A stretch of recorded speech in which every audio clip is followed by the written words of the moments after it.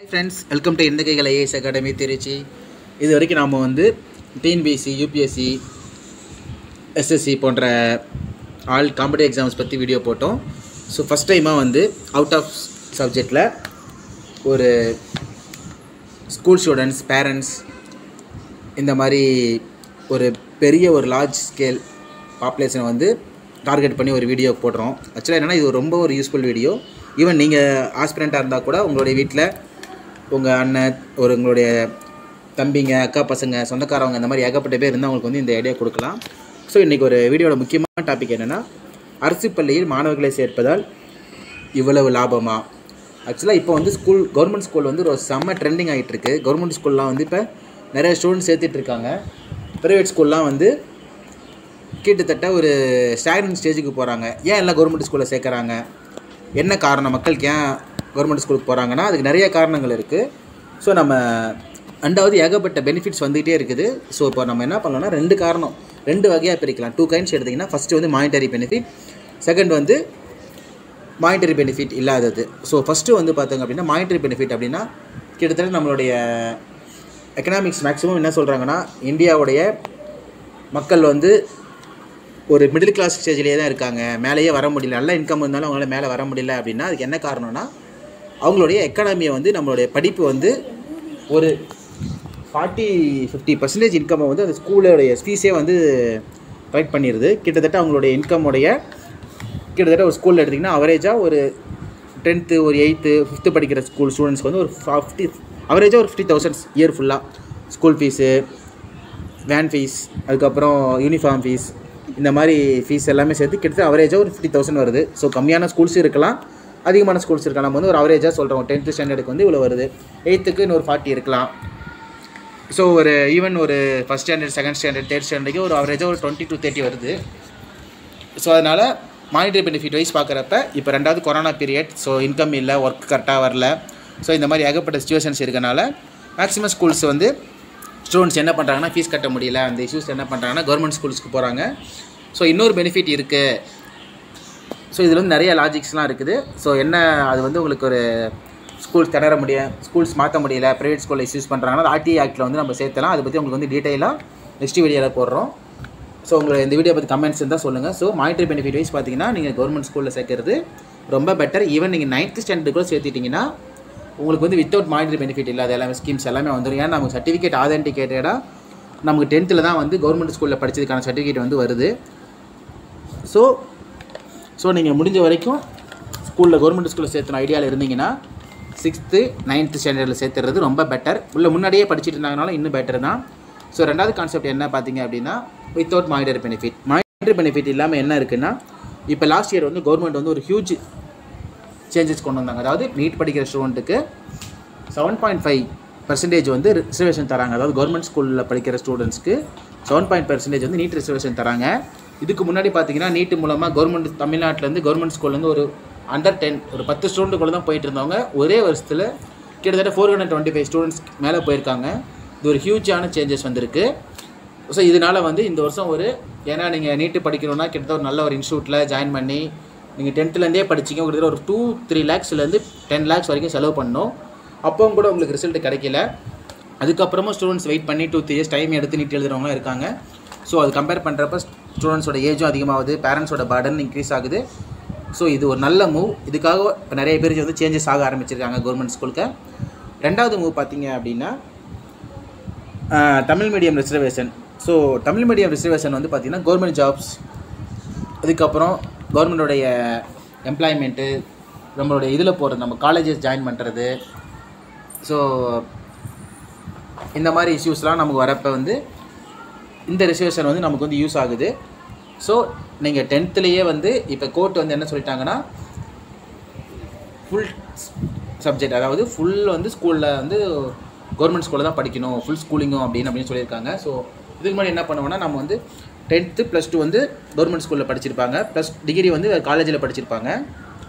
ஆனால் இப்போ என்ன இஷ்யூ ஆயிடுச்சு அப்படின்னா அவங்க வந்து தமிழ் மீடியத்தில் டிகிரி வாங்கிடுவாங்க அது வந்து இப்போ டிஎன்பிசிக்கு போகிறாங்க ஸோ தமிழ் டிகிரி வச்சு அவங்க எலிஜிபிள் இருந்தாங்க. ஆனால் இப்போ என்ன பண்ணிட்டாங்கன்னா ஃபுல் ஸ்கூலிங் ப்ளஸ் காலேஜ் இருக்கணும் அப்படிங்கிறாங்க. அப்போ அதனால் நீங்கள் என்ன பண்ணணும்னா கண்டிப்பாக டென்த்து வந்து தமிழ் மீடியம் படித்து தான் ஆகணும். ஸோ அவங்க வந்து சொல்கிறப்ப ஃபஸ்ட் ஸ்டாண்டர்ட் வந்து அப்படி சொல்லி இன்ஃபர்மேஷன் வந்தது நமக்கு. பட் ஆனால் ஒரு ஆதென்டிகேட்டராக ஒரு நம்ம கையில் ஒரு சர்டிஃபிகேட் வருது அப்படின்னு டென்த்து ஸ்டாண்டர்ட் தான் வரணும்.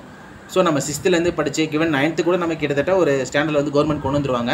டென்த்து வந்து கண்டிப்பாக கவர்மெண்ட்டில் படித்தா போ படிச்சிருக்கணும் அப்படின்ற மாதிரி கொண்டு வந்துருவாங்க. So tenth plus two so கண்டிப்பாக கவர்மெண்ட் ஸ்கூலில் படிக்கணும். அது தமிழ் மீடியத்தில் படிக்கணும் அப்படின்ற இஷ்யூஸ் இருக்குது plus government college government college உங்களால் படிக்க முடியலனா கூட இப்போ நமக்கு வந்து டபுள் டிகிரின்ற ஒரு வாய்ப்பு வந்துட்டுருக்கு. ஸோ இப்போ கவர்மெண்ட் பொறுத்த வரைக்கும் இப்போ தமிழ் மீடியம் டிகிரிஸ் வந்து கம்மி தான் இப்போ எந்த சிட்டியில் நீங்கள் தமிழ்நாட்டில் எடுத்திங்கனாலும் ஒன் ஆர் டூ காலேஜஸ் தவிர மீதி எல்லாமே இங்கிலீஷ் மீடியம் தான் இருக்கும். ஸோ நீங்கள் இதை பொறுத்த வரைக்கும் கவர்மெண்டோடைய தமிழ் மீடியம் டிகிரி வந்து பின்னாடி நம்ம படிச்சுக்கலாம் வாய்ப்புகள் அதிகமாக இருக்குது ஆனால் ஸ்கூலிங் வந்து கண்டிப்பாக முடியாது. திருப்பி டென்த்து ப்ளஸ் டூ படிக்கணும் அப்படிங்கிறது வந்து ரொம்ப கஷ்டம். ஸோ இன்னொரு இஷ்யூ வந்து பார்த்தோம் அப்படின்னா இந்த கவர்மெண்ட் ஸ்கூல் படிக்கிறதுனால நமக்கு ரிசர்வேஷனில் வந்து எக்ஸ்ட்ரா என்ன நமக்கு பெனிஃபிட் வரப்போகுது? கவர்மெண்ட் வந்து இதனுடைய கவர்னர் அறிக்கையில் வந்து என்னென்ன சொன்னாங்க? ஸ்பெஷலிஸ்ட்டு ஸோ ஒரு சில பாயிண்ட்ஸ் பார்ப்போம். ஸோ இந்த வருஷம் கவர்னர் அறிக்கையில் நடந்து முடிந்த சட்டசபை கூட்டத்தொடரில் வந்து கவர்னர் அறிக்கை வந்து ஒவ்வொரு ஆண்டு வந்து சட்டசபை கூட்டத்தொடர் தொடங்கும்போது ஆளுநர் அறிக்கை அல்லது கவர்னர் அட்ரஸோடு தான் தொடங்கும்.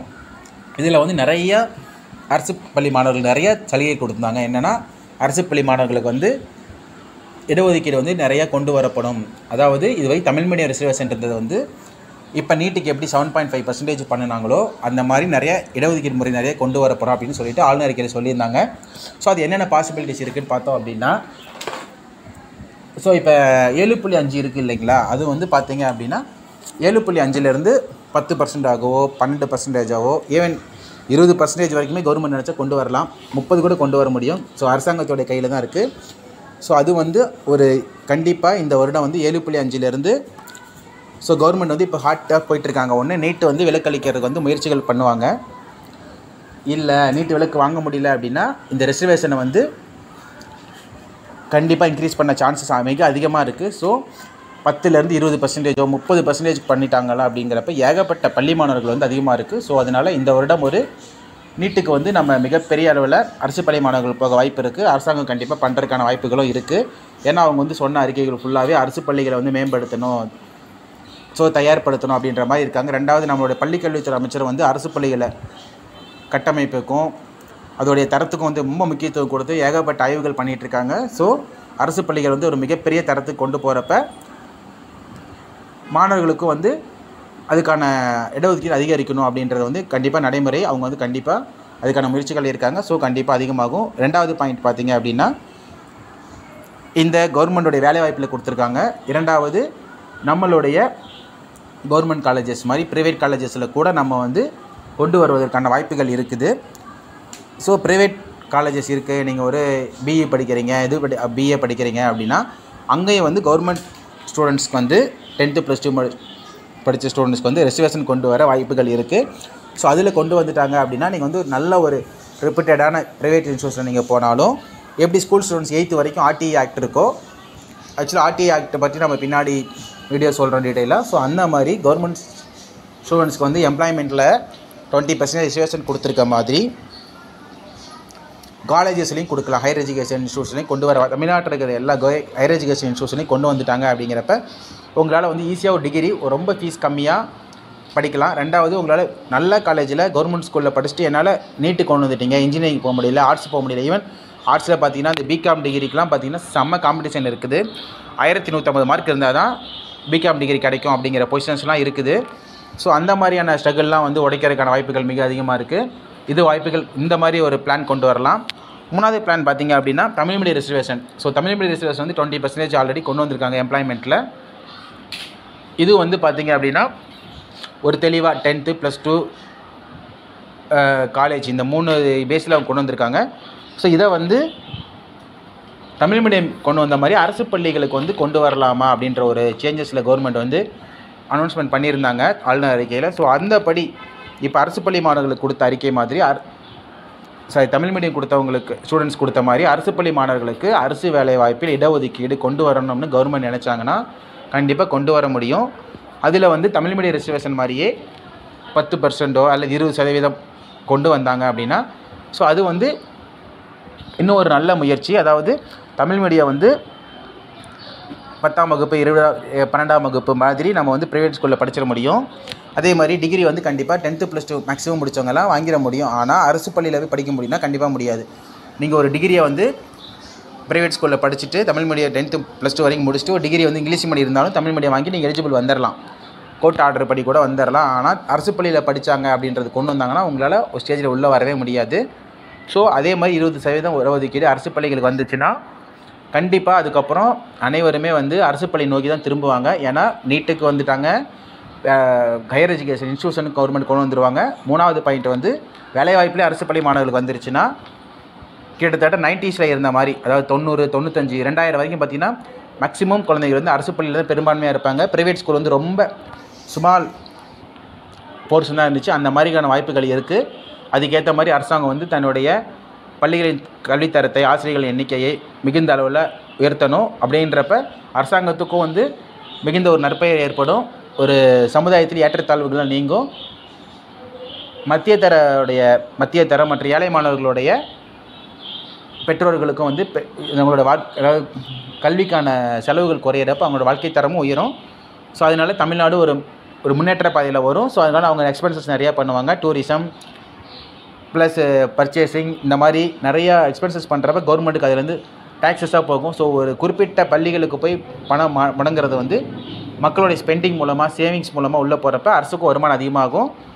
ஸோ அது மூலமாக தமிழ்நாடு மிகப்பெரிய அளவில் மறுபடியும் வளர்ச்சி அடைய இருக்கணும் ஒரு வளர்ச்சி பாதை செல்வதன் வாய்ப்புகள் இருக்குது ஸோ அதனால் ஸோ ரிசர்வேஷன் பற்றி கவர்மெண்ட் அரசு பள்ளியில் படித்தா என்ன அப்படின்ற நான் போட்டோம். அடுத்து ஆர்டி ரைட் டு எஜுகேஷன் பற்றி வீடியோ போடலாம். உங்களுடைய கமெண்ட்ஸ் ஏதாவது இருந்தால் கண்டிப்பாக நீங்கள் கீழே சொல்லுங்கள் உங்களுக்கு ஏற்ற மாதிரி நாங்கள் இன்னும் டிஃப்ரெண்ட்ஸான வீடியோ ட்ரை பண்ணலான்னு இருக்கோம்.